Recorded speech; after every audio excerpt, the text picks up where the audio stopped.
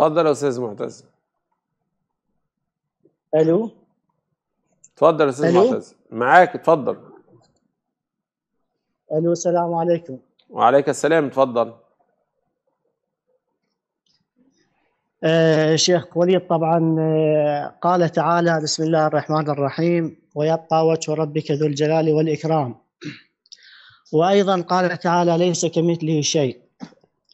طبعا في ظل عقيدة التجسيم التي يؤمن بها الأخوة السلفية آه كيف للشيخ وليد أن يفسر هاتين الآيتين آه الكريمتين؟ علما بأن الإمامية لا يؤمنون بشيء اسمه التجسيم ويقولون كما قال الإمام الرضا عليه السلام في عيون أخبار الرضا إنه كل ما في المخلوقات لا تنطبق على الخالق.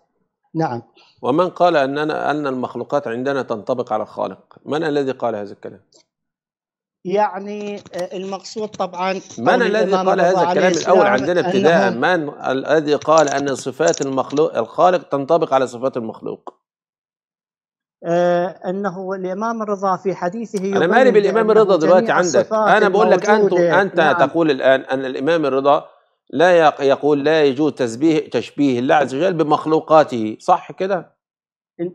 إي نعم لا يجوز طيب، واحدة- الله واحدة- واحدة- بالمخلوقات ك... نعم لا حول نعم. ولا قوة إلا بالله. واحدة واحدة. أنت حي نعم، والله نعم. حي. هل صفات حياتك نعم. كصفات الله؟ أنت حي والله حي.